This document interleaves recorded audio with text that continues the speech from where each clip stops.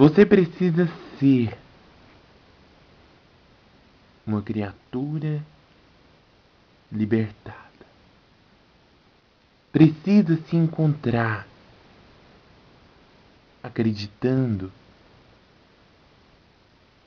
nos elos libertadores que existe dentro de você mesmo. Não tenha dúvida do teu potencial.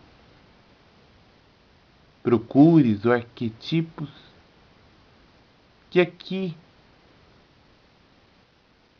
no contexto existencial, você se aprisionou.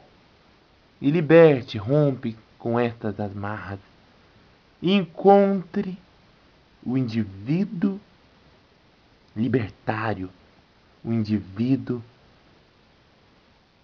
magnetizado em uma essência superior, em uma essência que questiona, que transcende, que rompe com os limites